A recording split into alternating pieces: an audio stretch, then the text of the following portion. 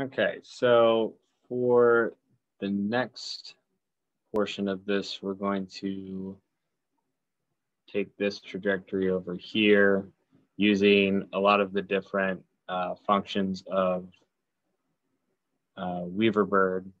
So we're going to take in this union mesh. Again, we've got a closed polysurf, two closed poly surfaces here. Feed that into a Brep2 mesh so we can begin to uh, manipulate the mesh in that way. And we've got a couple trajectories here. So first, going to apply uh, some triangles to the mesh and then give that a value level of uh, three for now. We'll be able to see this a little bit better when we uh, run the frame. So we can see here that it's placing now within each of the faces of the mesh, uh, these triangles. You can also do, uh, there's also a, a Weaverbird hexagonal.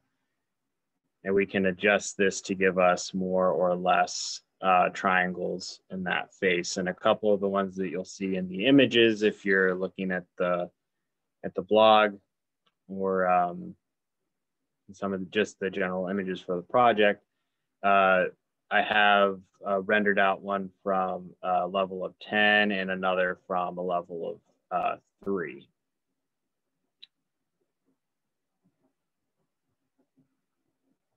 So I'll leave that on and turn this off. So we've got this here, and then we can um, thicken that. And we've got, so with our frame, We've got this set to one. We can change that. I've got it set to intervals. And if you take it up high enough, everything kind of blends in together. Um, so two, three, you're probably getting a little too big. So I'm gonna keep it at, um, at one for now. So that's feeding into the frame as well as the, um, the Weaverbird thickness here. And we change this, you can see that reflected in the kind of um, not panelizing. There's another Weaverbird node that is um, uh, Windows that can do something like that. So, oops. So let's take this back to three. And another uh, way that we can give some form to this new organization is using the uh, triangle. And similar to the frame, we can give that a thickness here.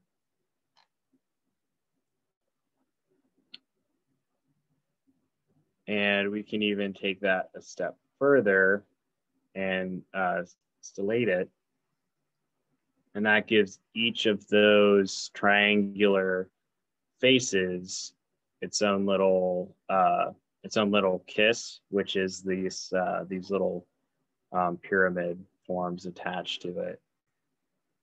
So that is all of those. And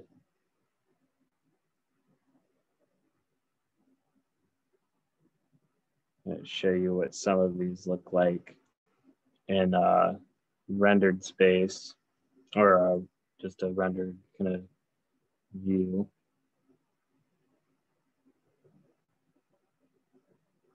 Can see we still have that interior structure there. So some of these like, so this and then both of these that have a uh, thickness frame, we could um, theoretically, you know, these are, you know, baked. So we could then uh, 3D print some of these geometries out, scale them up. Um, there's a artist I reference in the in the blog entry that does a lot of these kind of uh, not quite like this. They don't. Re- they're more his or or or theirs are more shells.